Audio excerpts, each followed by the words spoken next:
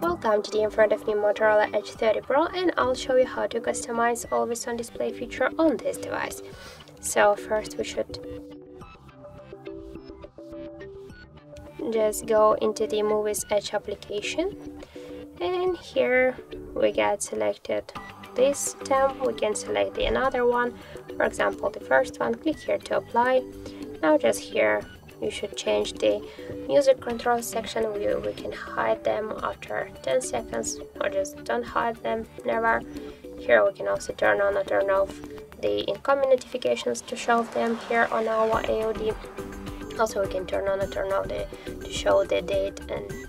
and do see to show the battery status always while device charging or just never and also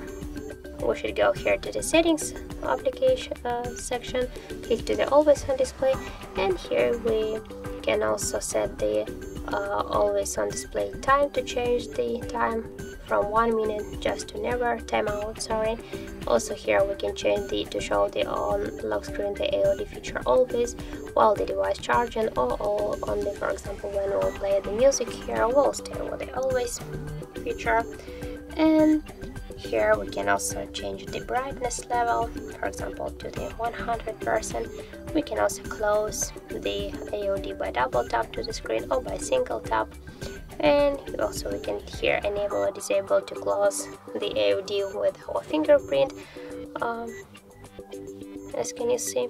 and so that's it that how to customize the AOD on our Motorola Edge 30 Pro.